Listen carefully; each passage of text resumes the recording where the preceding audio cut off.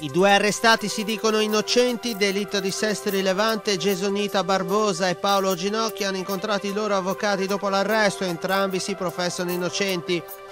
Ci rivolgeremo alla prefettura contro di capo ad annunciarlo la minoranza consigliare a Chiavari che spiega il motivo. Non hanno ancora comunicato sul sito del comune la loro situazione in merito a redditi, stato patrimoniale e curriculum. Due bollini rosa per l'ospedale di Lavagna, ieri a Roma la consegna si tratta del riconoscimento che premia gli ospedali attenti alla salute femminile.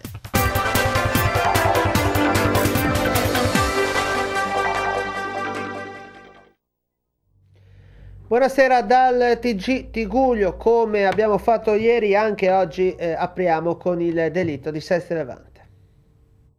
Piange e si dispera per l'arresto e pensa ai figli rimasti soli. Così l'avvocato Nicoletta Peri ha trovato la sua assistita Gesonita Barbosa ieri nel carcere femminile di Genova Ponte Decimo. È frastornata dopo una notte in questura, ma soprattutto, continua la legale, nega ogni addebito e mi ha detto che non crede che il suo attuale compagno sia coinvolto nel delitto. Per l'uccisione di Antonio Olivieri di Imbianchino trovato morto in uno scantinato di Viale Roma nei pressi della stazione ferroviaria di Seste Levante il 23 novembre scorso con la testa fracassata, sono stati arrestati due notti fa la 35enne brasiliana e il nuovo convivente di lei Paolo Ginocchio, 45 anni di San Salvatore di Cogorno. Lo stesso Ginocchio, attraverso il proprio avvocato Emanuele Olcese, ha ribadito che la notte dell'omicidio dormiva e non sa spiegarsi i movimenti della sua automobile ripresi dalle telecamere disseminate tra Lavagna e Sestri Levante. I due, che vivevano in via dei Devoto, sono stati arrestati dalla squadra mobile di Genova con l'accusa di omicidio aggravato dalla premeditazione. Avrebbero agito per odio, la donna con il ruolo di mandante, mentre l'uomo sarebbe l'autore materiale del delitto. Per l'accusa, Barbosa, conosciuta a Sesti Levante anche con il nome di Anita Brandao, nutriva odio verso Olivieri, da cui era in via di separazione e al quale aveva già bruciato il motorino, gesto per cui era stata condannata in tribunale due giorni prima del delitto. Barbosa, in cura al SET per ludopatia e sempre in cerca di soldi, provava un forte risentimento verso Olivieri che aveva più volte minacciato di morte lo riteneva responsabile della scelta compiuta dal tribunale di affidare all'uomo la figlia di 15 anni della donna e il figlio di 10 anni della coppia. A spingere Barbosa e il nuovo compagno Ginocchio ad uccidere Olivieri ci sarebbe anche una questione economica. Con la morte dell'imbianchino la donna sarebbe entrata in possesso del denaro del marito, dal quale è in fase di separazione, come detto, denaro di cui la brasiliana aveva bisogno per giocare e coprire i debiti di gioco. A tradire la coppia ci sarebbero delle intercettazioni telefoniche e un sms che Ginocchio ha inviato il pomeriggio dell'omicidio alla donna con cui le chiede di cancellare tutta la cronologia dei messaggi. Barbosa lo aveva detto anche ad un amico attraverso un messaggio che la morte del marito l'avrebbe fatta diventare ricca. Per questo motivo escogita il piano insieme al suo compagno per fare fuori l'ex e quanto è emerso dall'ordinanza del GIP Franca Borzone con cui è stato disposto l'arresto della coppia. La brasiliana è una donna avida di denaro, scrive il GIP, che nutriva un profondo rancore verso il marito. È una persona priva di scrupolo, pronta a tutto per le proprie mire e vendicativa. Cambiamo argomento, il comune di Santa Margherita Ligure potrà vendere l'ex collegio di Villa Lomellini, edificio che dal 1948 era vincolato come istituto scolastico da molti anni in stato di abbandono e degrado. Il Senato ha approvato in via definitiva la proposta di legge in tal senso presentata da Mara Carocci, deputata del Partito Democratico.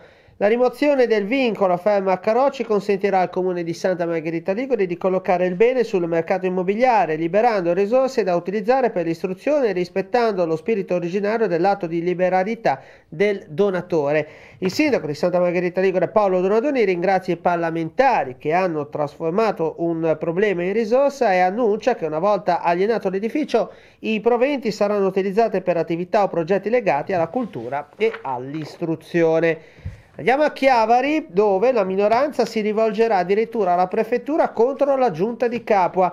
non hanno ancora comunicato sul sito del comune la loro situazione in merito a redditi, stato patrimoniale e curriculum, dicono i quattro consiglieri di minoranza.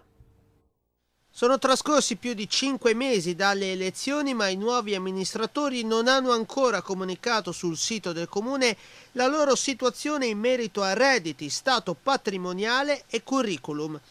Lo denunciano i gruppi consigliari di minoranza Noi di Chiavari e Chiavari sempre al centro, che hanno intenzione di segnalare la vicenda alla prefettura e a tutti gli organi competenti. Sapevamo perfettamente, affermano Roberto Levaggi, Daniela Colombo, Silvia Garibaldi e Sandro Garibaldi, che la coalizione che governa attualmente Chiavari non avesse nessun tipo di collante politico. Questa ne è l'ennesima dimostrazione.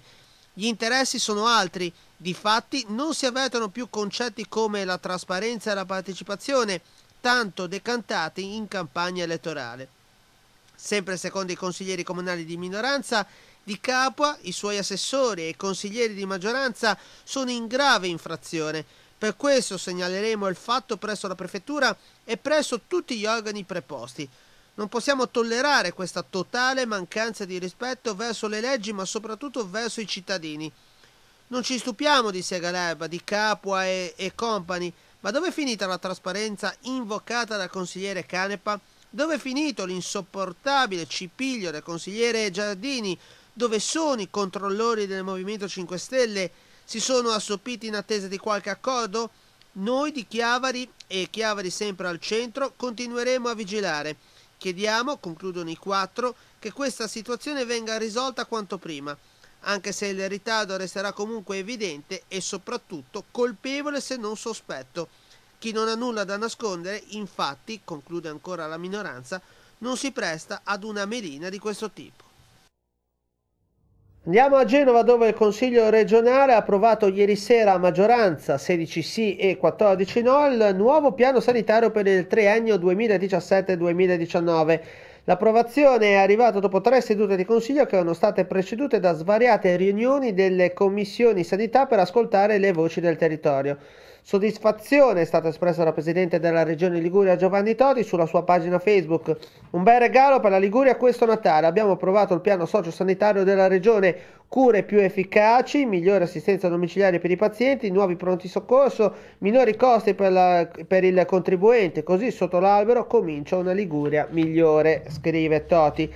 Critiche invece le opposizioni che parlano di provvedimento astratto che non risolve i problemi della sanità ligure e che, ha, che apre le porte alla privatizzazione di diverse strutture. E a proposito di sanità, due bollini rosa per l'ospedale di Lavagna, anche quest'anno l'ASL 4 Chiavarese ha partecipato all'iniziativa ottenendo due bollini rosa per l'ospedale appunto di Lavagna.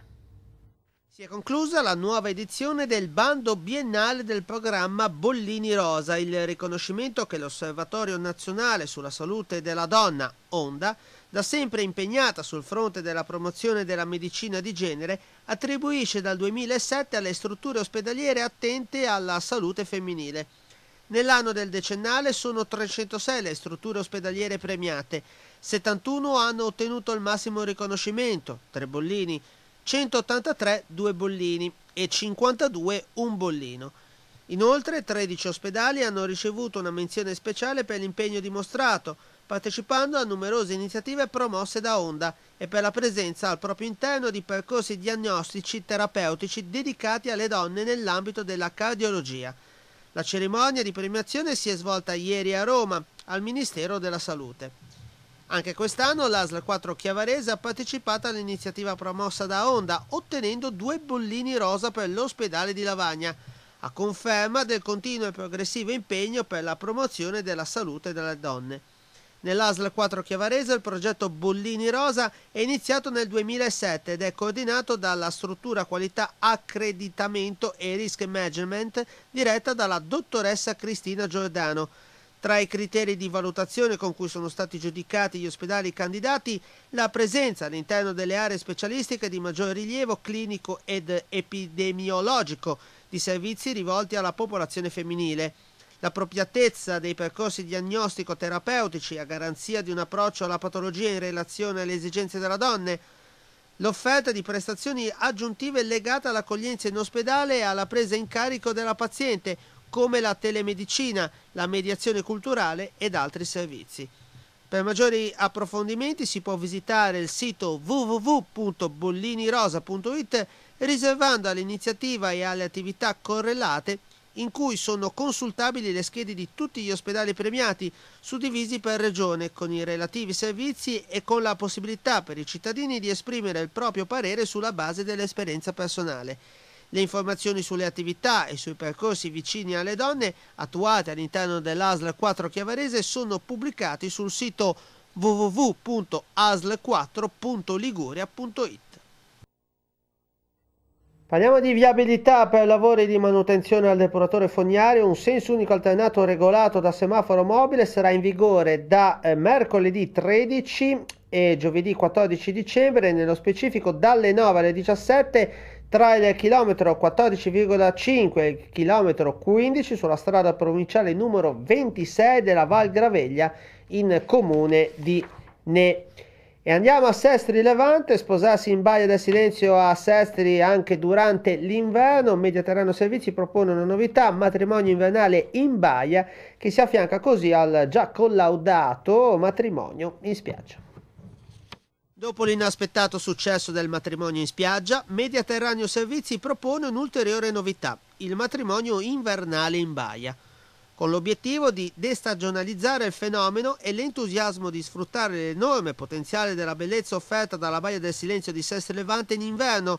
Si ripropone dunque la formula della cerimonia civile sulle panoramiche terrazze dell'ex convento dell'Annunziata, oppure in spiaggia sulla sabbia tra le barche dei pescatori alate sulla riva.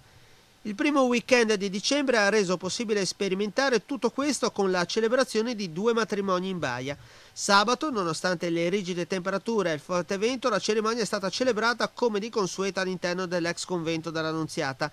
Domenica, invece, grazie alle favorevoli condizioni climatiche, è stato possibile realizzare la cerimonia sulla spettacolare terrazza affacciata sul mare.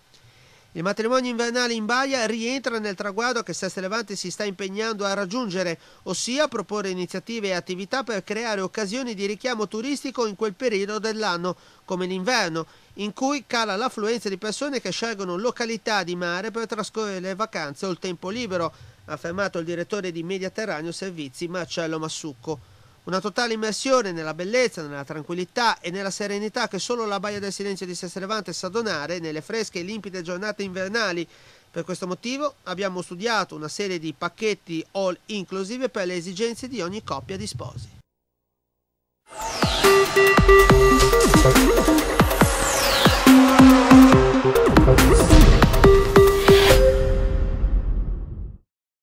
Il dottor Gian Alberto Mangiante, amministratore unico di Marina Chiavari. C'è un progetto che è stato presentato e che è quello di unire la gestione dei parcheggi a Chiavari sotto appunto la gestione di eh, Marina Chiavari, quindi non unire ma inglobare per così dire.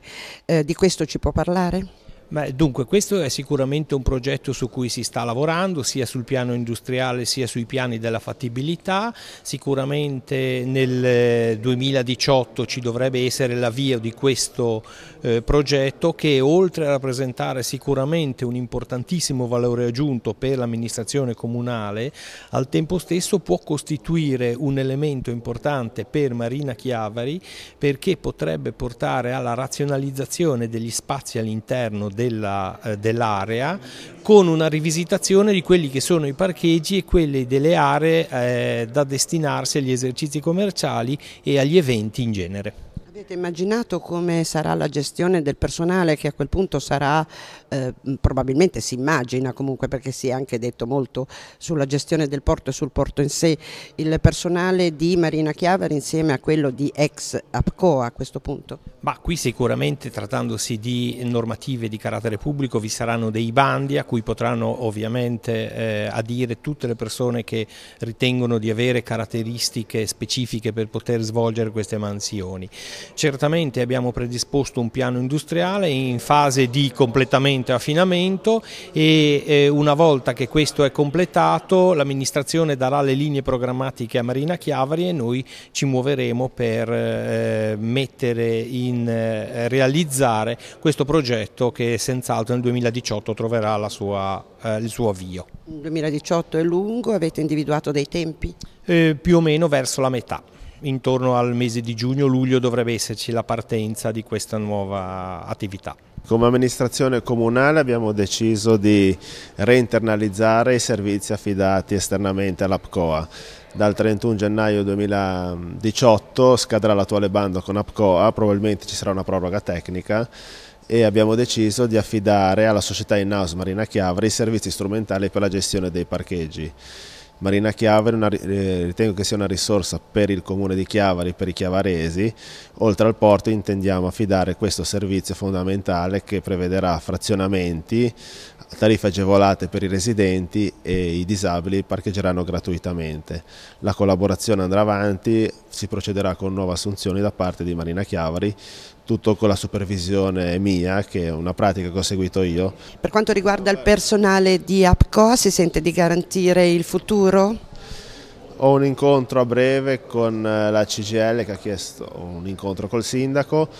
Eh, di, il passaggio solitamente tra aziende private quando vi è una cessione di un servizio di questo genere c'è il passaggio automatico del personale Purtroppo essere assunti in Marina Chiavari è come essere assunti in comune, quindi ci deve essere una procedura di selezione pubblica, vi sarà altresì una prova pratica per cui i dipendenti attuali parteciperanno e spero che vengano assunti tutti quanti. Ecco, lei pensa che questa gestione sarà diciamo, omogenea rispetto due, alle due realtà, cioè una quella dei parcheggi e l'altra quella di Marina Chiavari, quantomeno il personale potrebbe essere ambivalente? Eh, no, chi, chi, si occuperà del, del, porto turistico continuerà a fare l'ormeggiatore, ha delle professionalità eh, specifiche quindi che sono apprezzate dagli utenti del porto eh, la parte sarà un altro ramo aziendale, quello dei servizi strumentali che verrà fatturato direttamente dal comune di Chiavari. Attualmente ho messo a bilancio tutti i soldi per acquistare i nuovi parchimetri, le casse automatiche, sono convinto che daremo un ottimo servizio salvaguardando le entrate comunali dei parcheggi.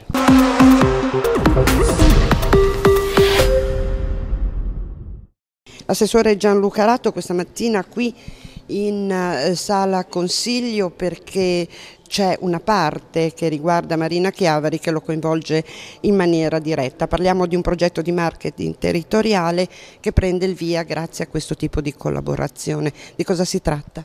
Si tratta di una Fidelity Card che Marina Chiavari ha studiato in eh, sinergia con noi e con eh, i nostri diciamo, operatori ed è eh, diciamo, la possibilità che si dà ai diportisti di essere eh, a contatto con tante attività del territorio, non soltanto di Chiavari ma addirittura del Tiguglio, con eh, sconti e convenzioni naturalmente speciali ed è un progetto importante iniziato un po' di tempo fa che oggi diciamo, parte. Sono molte le adesioni? In questo momento sono già una trentina le, le, le, aziende che hanno aderito, ma proprio da oggi diamo la possibilità a chi non fosse venuto ancora a conoscenza del progetto di poterne prendere parte, di farsi avanti e di sperimentare questo nuovo diciamo, modo di fare commercio anche con i diportisti e di essere al centro il porto e naturalmente il Tiguglio. Attività di diversa natura? Attività di diversa natura perché eh, diciamo dai negozi fino ad arrivare alla ristorazione fino eh, al diciamo, centro benessere piuttosto che altre attività eh, possono partecipare a questo meraviglioso progetto. Come verranno promosse? verranno promosse attraverso appunto questa Fidelity Card che verrà data in uso ai diportisti e attraverso poi dopo il rilancio pubblicitario nelle, nelle varie sedi.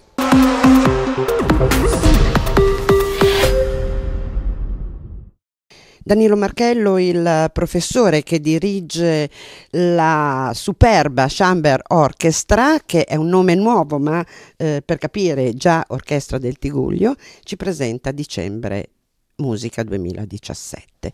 Un appuntamento ormai che si perde nel tempo, nel senso che è davvero una tradizione. È una tradizione e allora grazie della domanda, io colgo la tua domanda per eh, ringraziare in primis eh, l'amministrazione comunale entrante che ha voluto confermare l'appoggio per questa manifestazione. Credo che un po' di buona musica faccia bene a tutti, quindi usciamo tutti dai concerti che siamo dei cittadini migliori. È sempre bello vedere l'auditorium gremito con persone che vengono a passarsi un pomeriggio e ascoltano della buona musica. Sì, venerdì inauguriamo il Dicembre Musica. E... Venerdì 8. Venerdì 8, venerdì prossimo. Al pomeriggio, i nostri concerti sono sempre tutti pomeridiani o mattutini, dipende. E abbiamo la nostra orchestra, hai ragione, abbiamo cambiato nome da due anni ehm, perché non, per una ragione specifica. Il nostro è un nome, siccome ci siamo andati a fare un po' di concerti fuori, siamo stati anche all'estero così, e ci hanno chiesto un nome un po' più internazionale e ci siamo cambiamo, cambiato il nome, ma l'orchestra è sempre la stessa, suona sempre meglio per fortuna. Il programma che presentiamo prevede il concerto di Shostakovich, che è un'opera interessante, un'opera del 1933, è un concerto per pianoforte, tromba e orchestra. I due solisti sono il pianista Dario Bonuccelli e un pianista genovese, un giovane pianista, non giovanissimo, che sta facendo una carriera internazionale molto importante. La tromba è invece una delle trombe importanti d'Italia, Fabiano Cudiz è stato prima tromba alla Fenice, al Carlo Felice, adesso alla Pro di Roma, è un amico e viene volentieri, noi siamo contenti. È un brano interessante perché eh, per tutti coloro che verranno a seguire, chiaramente nel 1933 soffiavano venti di guerra sull'Europa e Shostakovich con diciamo, un'idea molto ironica in qualche modo cerca un po' di stemperare questi venti che ahimè poi non andranno stemperati ma avranno una brutta fine, ma questo Shostakovich comunque ci ha messo il suo impegno. Nella seconda parte del programma faremo una sinfonia di Schubert, la quinta sinfonia di Schubert.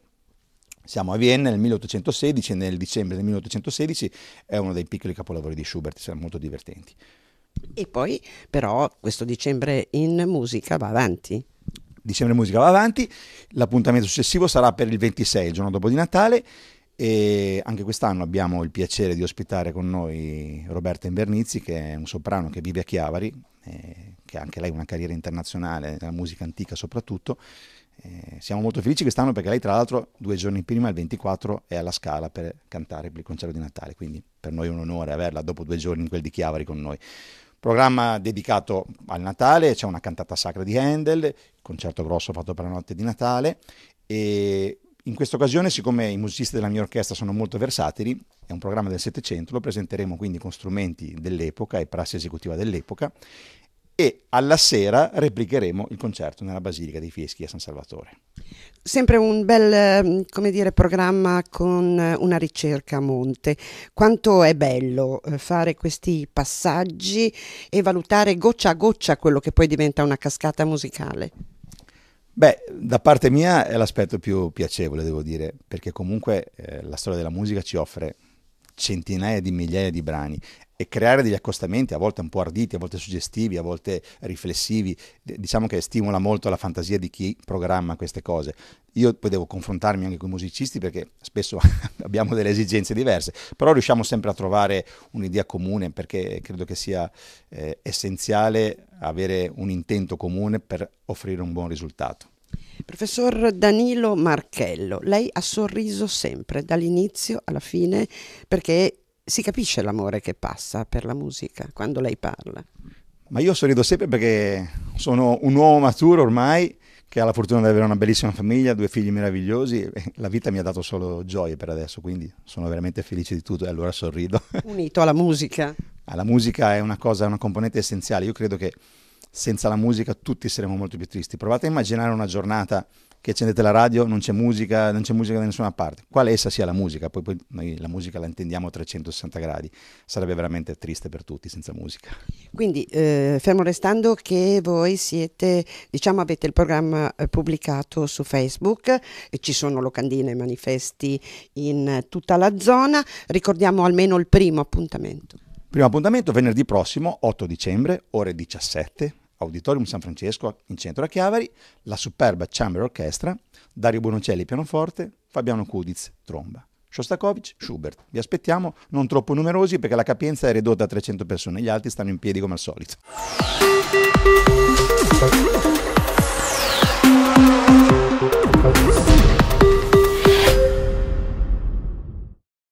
Bene, non mi resta che lasciarvi le previsioni meteo per la giornata di domani e la programmazione di Entella TV. Ricordo che l'informazione locale della nostra emittente tornerà domani alle 12.45 alle 14.15 con il TGT Guglio Gente, mentre in serata andrà in onda il TGT Guglio tradizionale alle 19.30 e alle 22.45.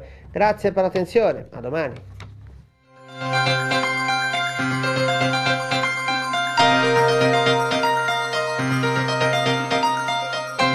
Previsioni per domani, giovedì 7 dicembre. Molto nuvoloso o coperto sul settore centro-orientale, con deboli piogge diffuse, più insistenti sulla riviera di Levante. Venti in rinforzo fino a forti da sud-ovest, in particolare al largo e sui capi esposti. Mare in rapido aumento fino a molto mosso con onda da sud-ovest in serata, localmente agitato al largo. Umidità su valori alti, le temperature previste sulla costa tra 11 e 16 gradi, nell'entroterra tra 3 e 12 gradi.